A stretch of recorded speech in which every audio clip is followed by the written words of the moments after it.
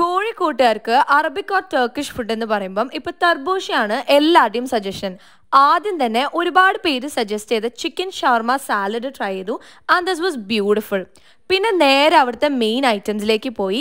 അപ്പൊ ലാം കിബയാണിത് ഉള്ളിലെ മീറ്റ് നല്ല സോഫ്റ്റ് ആയിരുന്നു ആൻഡ് ഔട്ട്സൈഡ് കുറച്ച് ഹാർഡ് ആയിട്ടാണ് ജനറലി ഒരു ഡിഷ് ഉണ്ടാവുക.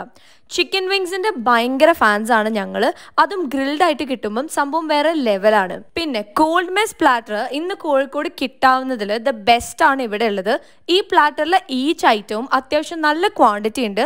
കൂടെ നല്ല സോഫ്റ്റ് ബ്രെഡ്സും സെർവ് ചെയ്യുന്നുണ്ട് കേട്ടോ കൂടെ കഴിക്കാൻ ഒരു ചിക്കൻ കബാബ് പറഞ്ഞു സംഭവം സൂപ്പർ സോഫ്റ്റ് ആണ്. ആ പെർഫെക്റ്റ് ആയിരുന്നു. അറബിക് പിജ്ജ എന്ന് വേണമെങ്കിൽ നമുക്ക് മനാക്കിഷിനെ വിളിക്കാം. പക്ഷേ ഇതിൽ കംപ്ലീറ്റ് ചീസ് ആൻഡ് ചിക്കൻ ആയതുകൊണ്ട് കുട്ടികളുടെയൊക്കെ ഫേവറേറ്റ് ഐറ്റം ആണിത്. അവസാനം അവരുടെ സൗദി ഷാമ്പയിനും ഡെസേർട്ടായിട്ട് കുനാഫയാണ് ട്രൈ ചെയ്തത്.